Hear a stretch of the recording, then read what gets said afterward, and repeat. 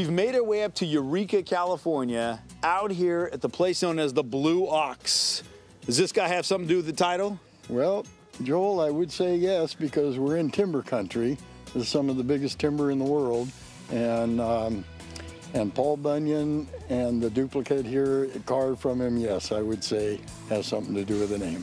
When you drive into your compound facility, vi- you fill in the word. I'm just looking for the right Into word. the village. The village. Yep. There's a lot going on in here. It's a little, a little bit more than uh, than you can explain. I know that for sure. for it's been 45 years in the making, so it's a long time. In fact, why don't I take you in, introduce you to Rainbow, and she can start showing you around, and we'll get this thing started. How's that? That, that sounds great because I'm telling you, there is a lot to see. Just driving in those gates right there. Unbelievable.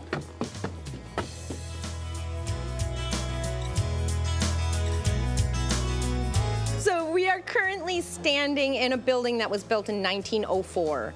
This was the original power plant for the Eureka trolley system here in Eureka. Further back we have our print shop where we have our 1909 letterpress.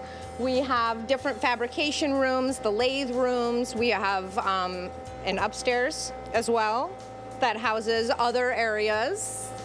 So we have quite a lot going on in just our main building. So, how did it go from a power plant to the Blue Ox? Well, it started in 1973. At that time, this building was condemned, mm-hmm. so the power plant wasn't here. And Eric Hollenbeck got a loan from the bank, I believe it was for $300 to buy this dilapidated building.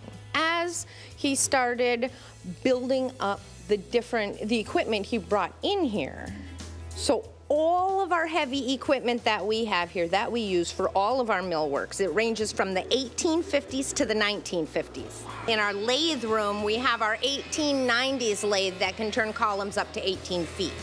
Wow. One of our oldest pieces of equipment here, a treadle-powered scroll saw. It's a treadle powered, so you can see his foot is pushing the treadle at the bottom. So, all he's doing is basically kind of winding it up, right? I'm Yep. simplifying it, but he's Yep. just winding it up. And then, just like that, he's taking Yeah. that piece out of the wood. Exactly. He can get that real nice organic shape with the scroll saws. This is our pedal powered scroll saw, also known as the Velocisaw. And you can see the addition of the seat, and now he has pedals so he can have the power of both legs, not just one. Ah. With this piece of equipment, he also has the ability to slow it down as well. Wow. This is the 1890s shaper. You're going to notice that it's going to be putting a profile in the edge of the wood. So typically people will look at it and they'll go, oh, it's a router. It's Yeah. very similar to what the router does, yes. I assume Eric has been doing this for a couple years, right? Oh, yeah. Wow. So it's given the character and the design to the sides of. exactly, exactly. This is a treadle powered cutoff saw, so he's going to be going back to the treadle powered where it's one leg. Hmm. And you can see how he winds it up Whoa! just like a table saw. That is incredible. What? That is amazing. And this is just the beginning.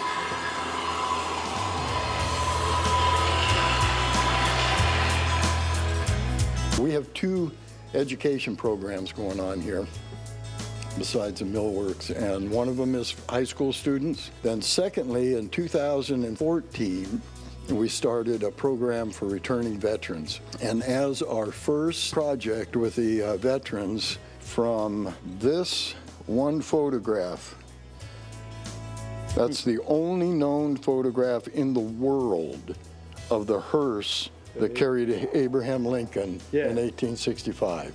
And we scaled this and built an exact replica. Oh my. And that's it in the uh, 150th uh, commemoration in Springfield, Illinois. Wow. And these, all of the molds that we made to make all of the castings. We melted them down and recast them and made all these shapes identical to what the, uh, what the original was, remember?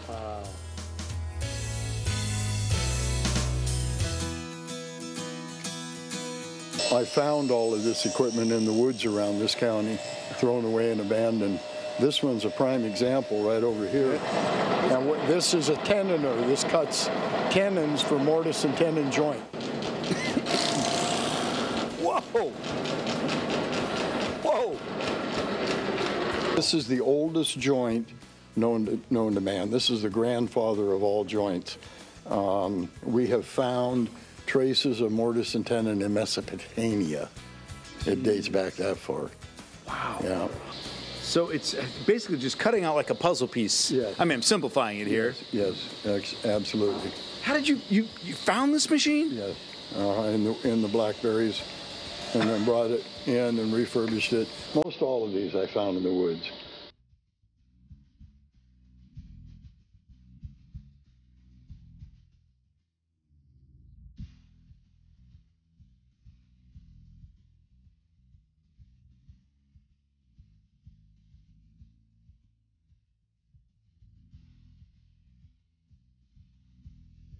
We're out in the village, and it sounds like you have a lot, a lot going on out here as well. We have the blacksmith shop behind us, um, and Patrick is uh, giving a class to uh, um, a student who's drawing that out right now, When you say drawing that out, what do you mean? making it smaller and stretching it out. Okay.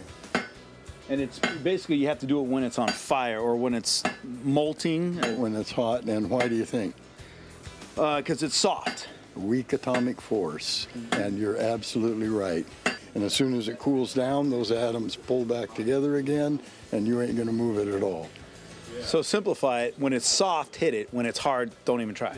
You got it. There we go. All right. He's holding that without a glove. I mean, I would imagine it's hot. No, the heat doesn't. The heat doesn't travel to the backside. Oh, there you go. You see the metal move. Yeah. Over here is the foundry. That was where we did all the castings. Uh, the next one over is the uh, lapidary, where you shape uh, stones and minerals. and uh, Phyllis is giving a class uh, to a lady in the lapidary right now.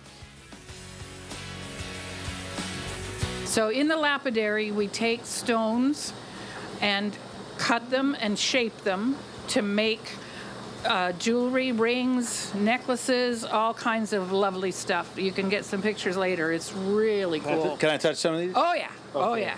So this is just taking a. a That one happens to be a piece of petrified wood. oh. Yeah, yeah. So we have machines that can cut the stuff and polish it. So uh, they're all set up over there to show you guys how that's done. Oh, okay. So how many students can you have in here at any given time? Well, we were just donated some of these wonderful um, arbors over here. So I think it would probably be uh, about three or four Three or four. And how long do the uh, classes last? for about six weeks, and they will learn everything from picking the stone, what the stones do, different kinds, um, all the way to finishing uh, a nice cabochon using some of the stones that are sitting on the table over there. Wow. Here one. So it's a wonderful thing, something like this. They'll make something like this. This is a, a Mexican moss agate. And I shaped it and it's um, and I stabilized it because some rocks, especially in the sou- uh, southwest, um, get a little bit cracky because they're so dry. Yeah. They're so dry, but that's a moss agate. So hopefully they'll make something like this.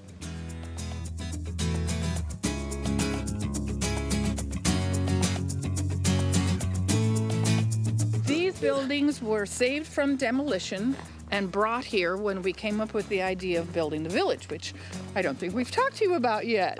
So we're going to be building I'm a like- full. I'm look. turn the mic away from me. No, no, but look at this. I'm looking. We. I just can't. Wow! It just pretty keeps cool. going and It's going and pretty cool. going. Yeah, it's been gradual, so we can adjust to each stage, but it, it just keeps going. So here we have the stained glass studio. Joe here is getting uh, her her first lesson on how to do stained glass, and Blaze is our instructor. The students who take the workshop and the full classes will learn how to cut glass, how to do the lead in there. That's what it's called. Yes. Okay. I haven't got to do this yet. And and And it's in your village. Yes, I know. I never get to do nothing fun. So um, then this will be a finished piece that people ta- that taking the workshop will be able to take home with them. So this is her piece that she's creating and gets to She keep. just started it today. The glass cutter is really a steel wheel that puts a weak spot in the glass. Mm-hmm. So you just follow along the line. Well, it's like tracing. Mm-hmm. Oh my goodness. He- He's making that look pretty simple. Was it that simple? Uh, If you trace well. if you trace, there's the key. If you trace well, eh, oh, you don't have any gloves or no? Just good. Okay. All right. There you go. All right. Come on now. You made that look really simple. I've been doing it a long time. And then I assume like in between is where we're gonna have like uh, you know metal pieces in there, or Yeah, the lead is malleable and it's shaped like an H. So the glass will fit in both sides of that H, and then that way you can make the shapes. And then once it's all been wrapped together, then you solder all the intersections like this. Oh yeah. Okay. Thank you very much. This is very cool. I appreciate it.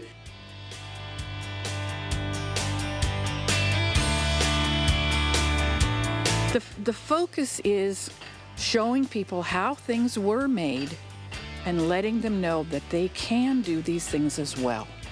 Because they're traditions that need to be saved for the future. And we all need to have the, the joy of making things with our hands. This is just one of those spots that uh, just make you proud to say that uh, this is our California. Absolutely. Wow. Milling, blacksmithing, stained glass making, rocks and minerals, shaping, shingle making, tours, shops. We haven't even talked about the Redwood Shrine. There's a whole lot out here at the Blue Ox in Eureka. Mm.